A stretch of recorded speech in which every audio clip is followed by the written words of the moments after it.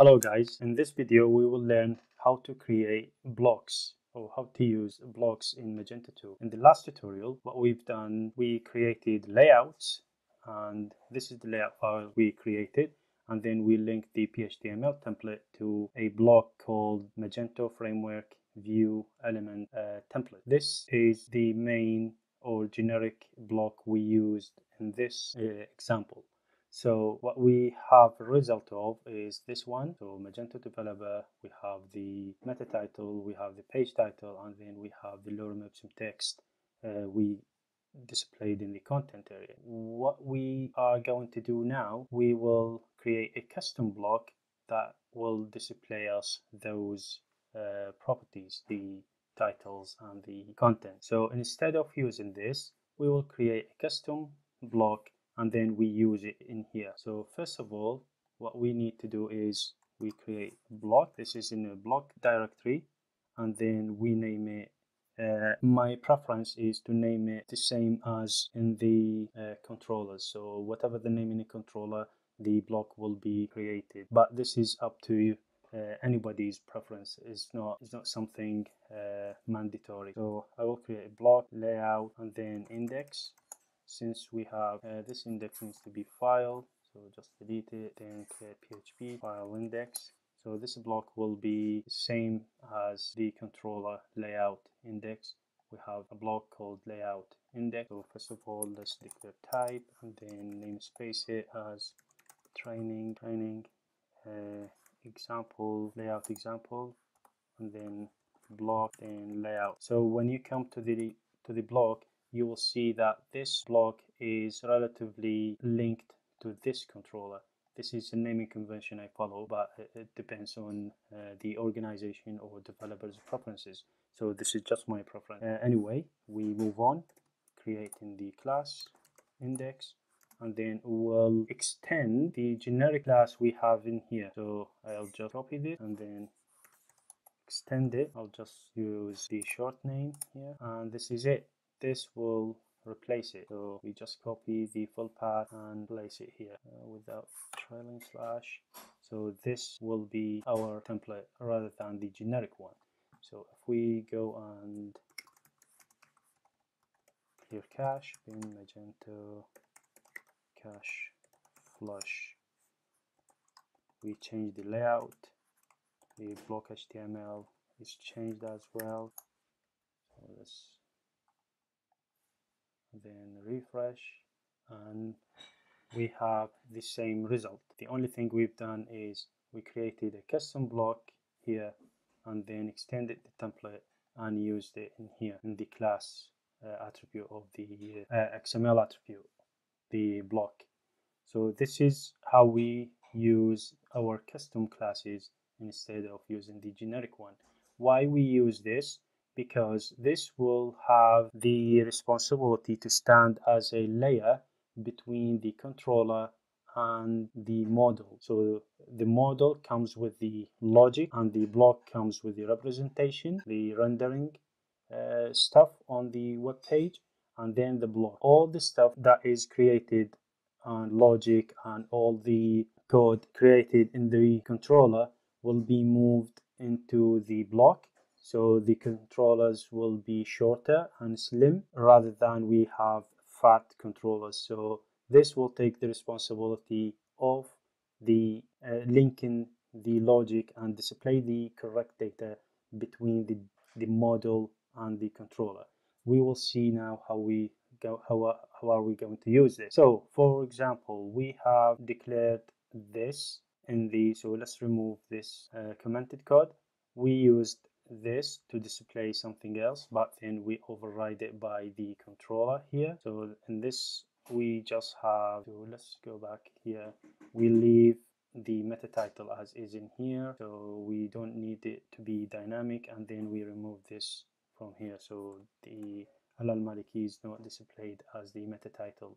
And we will need to remove this and make it the responsibility of the uh, block and not the controller. What are we going to do? Remove this entry, we don't need it. We also remove this entry or this code, this line of code, we don't need it. And then we just return the page create so this will be return and that's it so this is what we need and also this is removed and we have nothing here so we want to make sure that is this and this is not displayed.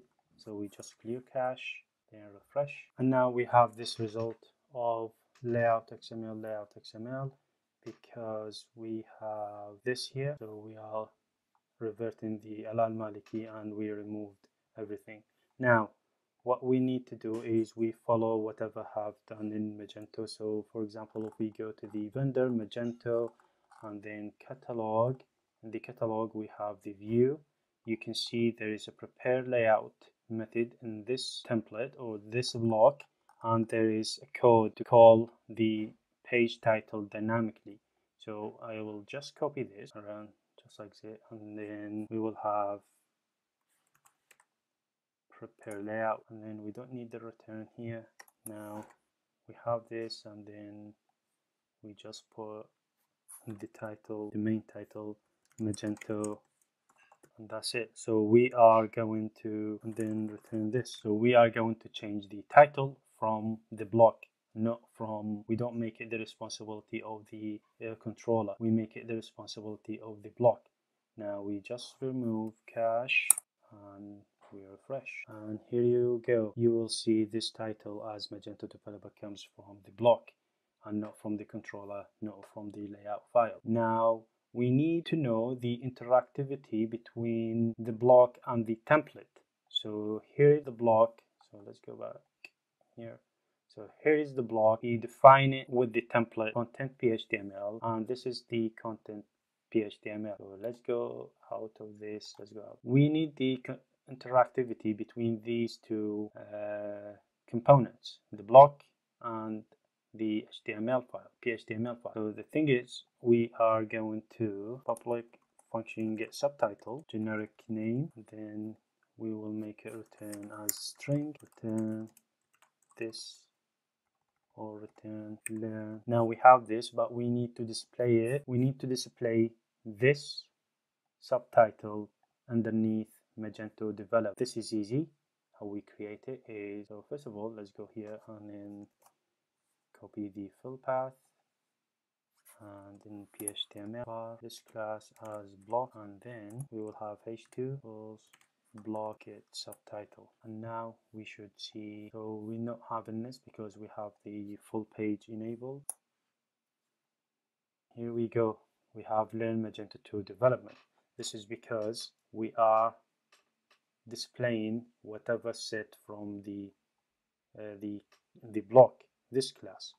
So this is how we are creating blocks and we add it and configure it from the layout and then display it in the template. I think this is it and just to go through again first of all we create this class extends the template the magento framework view element template and we set the page title here in the prepare layout method and we just add a method called get subtitle. In the layout we are specifying here that is our custom block is configured to be the block and it linked to this content phtml file. This content phtml file can have access to the block and will we will display the uh, variables or we apply logic or we apply everything we want from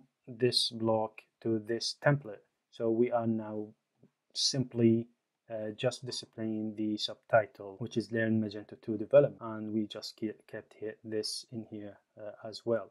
And this is how it worked through this this uh, controller by having the layout file exactly the same layout example layout index and this is layout example layout index. If you also inspect the page if you go to the body tag you will have class called layout underscore example dash layout index which means that is the name of the of the uh, action or of the controller the default controller in the in the page.